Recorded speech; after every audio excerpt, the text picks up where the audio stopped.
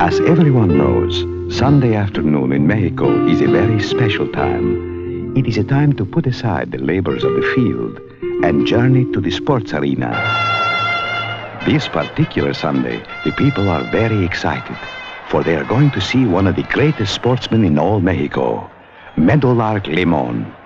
But wait, the people are not cheering. This Meadowlark Lemon is no matador. What then is his sport? Ah, yes, basketball. And now that people are cheering, they are happy because the famous Harlem Globetrotters are visiting their country, spreading joy and laughter throughout the land.